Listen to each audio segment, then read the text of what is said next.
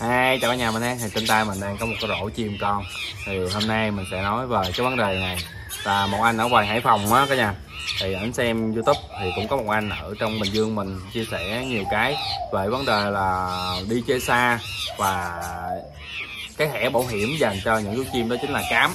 À, bằng cách là chim mà nuôi chim sinh sản là phải vô cám. Vô cám trước khi mà anh em ghép thì thật sự mà nói á, tùy theo dòng tùy theo loài.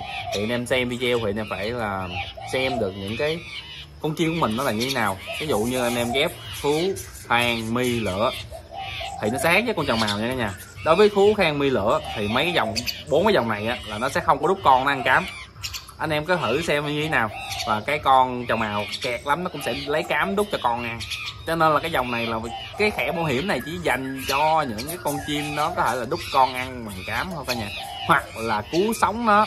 Đó. Chứ còn mà thật sự nói là nó gọi là thẻ bảo hiểm thì không đúng. Nó phải nói là hai cái là vừa là thẻ bảo hiểm và vừa là cái giấy báo tử cho những cái chú chim con của mình. Đó. Thì ảnh đi một tuần dài và chim con chết hết tại vì cái lượng màu của anh ấy nghĩ là ờ ảnh không có nghĩ đến cái việc là con chim nó đúc là nó sẽ dư màu chứ không phải là nó thiếu. Anh nghĩ là bỏ vô là sẽ dư, nhưng mà cuối cùng lại thiếu. Mà con chim con đó mỗi lần thiếu mồi thì nó sẽ hạ hạ sát chim con xuống đất. Đó, thì cái nhà không biết đó lý do thật sự nói khi mà anh em xem video người ta chia sẻ thì mình cũng phải nên tìm hiểu kỹ một phần. Có chắc gì người ta nói là chim nó ăn cá và người ta đi một tuần lễ và ở nhà người ta là có người chăm hay là không có người chăm? Không thể nào mà cái người mà đang nuôi chim sinh sản mà đẻ với số lượng nhiều hay này kia nọ mà họ đi, mà cái vấn đề chuồng trại không có người theo dõi và không có người quan sát, thì đảm bảo với anh em rằng một câu là không bao giờ có chứ bây giờ mình đi đâu xa thì thường thì mình sẽ nhờ ba mẹ mình hay là em mình ở nhà chăm giới chăm mồi thêm. Không bao giờ bỏ được cái nhà. Thiệt thật sự mà nói là như vậy. Anh em đừng nghĩ là ừ, bỏ cám vào nó là bảo hiểm không có đâu giấy báo tử á. Nhiều khi có những con hả anh em về nó thấy nó lăn đùng rồi nó chết luôn. Thậm chí chim bố mẹ nó lại không ăn cám luôn. Dù nó đang cám rồi mà đang trong quá trình nuôi con đút con á nó đút hàng sai quá và nó đút màu tươi đút đến nào mà khi mà cạn kẹt rồi nó sẽ từ từ nó chết. Cũng giống như kiểu mà anh em bắt những con chim bổi ngoài rừng về anh em ép cám anh em hút cám anh em thấy không? Nó kiên quyết chết chứ nó không bao giờ nó ăn cám. Là như vậy. Ok mình có điện thoại xong cả nhà thì nói chung á là cả nhà mình chăm chim á cả nhà chịu khó theo dõi quan sát. Chứ không phải là người ta nói á, thì có cái phần đúng. Và có những cái mặt sau á giấu kín á, người ta sẽ không có nói không chia sẻ với cái nhà mình. Chứ không phải là người ta đi người ta bỏ bơi những con chim như vậy cả nhà. Sẽ có một người nào đó họ sẽ theo dõi quan sát chứ không phải là bỏ bơi như thế. Mình cứ nghĩ là ờ người ta chỉ chia sẻ bỏ bơi. Thì cám á, chỉ dành cho những con chim anh em nuôi ở ngoài. Anh em bỏ năm chục hũ cám hay là ba chục hũ cám hay bao nhiêu cũng có thể là nó sẽ sống. Còn khi mà anh em nuôi chim sinh sản thì anh em đừng có nghĩ tới cái việc anh em bỏ cám vào là sẽ cứu sống con nó. Chỉ có cứu có thể là nó cứu sống được chim bố mẹ. Chứ không phải nào mà cứu sống được chim con đâu cả nhà. Thì mình đi một tuần là thật sự nó là không phải nào được.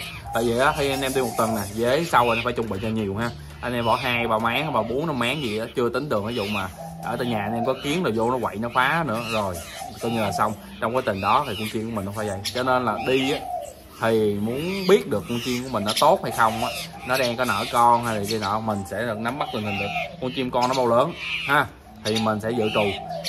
Dự, anh em dự trù bằng rất là nhiều mồi giúp mình đó chính là cá này cá bé màu á hoặc là cá rồng rồng á anh em bỏ vào từng cái khay nước. Thì cá nó sẽ sống rất là lâu anh em bỏ 10 cái khay hai ba chục cái khay đó cá nó sẽ không bao giờ chết. Và kiến nó cũng sẽ không giận cái cá đó. Thì anh em đi đi chơi xa thì anh em phải bỏ như vậy. Chứ anh em đừng có đi chơi xa anh em bỏ cám rồi anh em bỏ đồ vô à, cào cào trứng kiến hay là sâu giới gì thăm ba lăng vô đó hết hết. Vậy thì không được. Thì mình bỏ những những cái món nào á thì có thể là cái xác sức nó sống lâu nhất để cho con chi của mình nó sẽ đút con được nhiều nhất. Giờ thì cá mấy màu anh em mua thật sự nói đi mua một bọc đó, chắc phải là mấy chục ngàn. Thì chịu khó mua về hoặc là anh em mua cá mồi cá lồng rồng nè hoặc là những con cá chép nhỏ nhỏ, nhỏ, nhỏ bằng cá mồi cho con cá rồng ăn á. Thì mình mua đó về thì mình bỏ vào trong cái máng nước. Mình chịu khó mình làm từng máng nước nhỏ nhỏ nhỏ anh em nói ừ bỏ vô nó sẽ chết. Rất là khó chết những con nó sống rất là dài anh em không tin anh em thử bỏ đi. Đi chơi xa thì chịu khó làm như vậy. Thì kiểu gì cũng sẽ không bao giờ mà mà mà, mà thiếu được mồi. À, rồi anh em mua thêm run nữa nè. Run thì mình bỏ đắt. Rồi mình chỉ cho cả nhà bỏ. Thì à, những cái con trùng á thì mình kiếm một cái máng dài thiệt dài. Mình bỏ con run nó bên góc này, thì khi mà nó rút từ từ từ từ nó ăn phân á, thì nó nó sẽ ăn cái cái lượng đất nó đi từ từ từ vô. Thì như vậy thì con chim của mình sẽ tự bới cái phần đó lên. Chứ còn vui mà anh em về anh em bỏ vô cái khay lớn nhà không được anh em chịu khó bỏ một cái máng bự bự vậy để cho nó khoảng không gian nó rất là rộng dài, thì con chim nó sẽ xuống nó bơi. Như vậy nó sẽ là rút những con chim còn ăn đó, và con run nó cũng sẽ sống lâu hơn. Đó, thì nó là những cái đó. Còn ví dụ mà sâu nè thì sâu thì anh em phải là mua vừa mua sâu gạo này vừa mua sâu sâu sữa này mua sâu đồng ba loại luôn cũng được. Ừ, bỏ vô. Thì mình vừa treo này vừa móc nè. Anh em sợ mà kiến vô thì anh em làm những cái móc treo lên toàn đen toàn đen vậy thì con chim sẽ xuống ăn cái phần đó để cho cho con nè. Đó. Thì mình đi xa mình sẽ chuẩn bị như vậy. Chứ anh em đừng đi xa mà anh em ở anh em chuẩn bị cái này vô thì bỏ tay rồi. Chỉ có ờ, những con chim con như thế này à, ở ngoài à là mình mới đúc 100% cám là ok nhất. Tại vì nó có thể là tự mình đúc ăn được chứ nó không phải thể là như con chim bố mẹ nó rút rồi xong đúc tại vì á con chim bố mẹ nó không thể nào mà nó ngậm nước nó cho con chim con uống nước được. Và nó chỉ có là uống từ là nước miếng nó hay là, là những cái mồi tươi nó truyền vô cho chim con thôi đó còn cám thì đút vô thì con chim con của mình cho nên là ở ngoài mình sẽ vào cám nó bằng cách như vậy sẽ ok hơn cho nên cả nhà mình ví dụ mà đi chơi xa có thể là sách tụi nó theo thì mình có là độ những cái máy ấm máy ấm. Hiện tại bây giờ cả nhà thấy là những cái máy ấm máy áp á người ta sẽ dùng pin ắc quy à, khoảng 12V là sẽ ok rồi. Thì anh em phải là chế tạo những cái đó. Còn anh em nào muốn á, thì có thể là alo trong cô trường cô trường nó làm cho cả nhà những cái đó. Thì nói chung là nó rành về công nghệ hơn mình mấy phần đó thì có thể là alo cho nó, nó chỉ cho cả nhà làm như thế nào. Còn mình thì ít đi xa cho nên là những cái nào cần thì mình chia sẻ anh em để anh em vận dụng tốt hơn.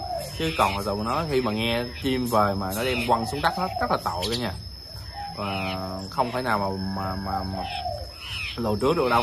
Đối với những con chim con thì chịu khó chơi thì cân nhắc xíu theo dõi người ta thì theo dõi sao cho anh đúng. Thì mặc dù người ta nói á, thì ok đúng chứ đâu phải người ta nói sai đâu. Chim của người ta nuôi vậy người ta quay như vậy. Ừ bỏ hũ cám vô đàng hoàng. Ừ cũng bỏ rồi nó ăn hay không thì mình đâu biết được. Nhưng mình mình nói anh em ừ bỏ vô vậy nó ăn không? Nhưng mà anh em bỏ cái nào bỏ này kia vô ăn không? Ăn chứ xong ăn.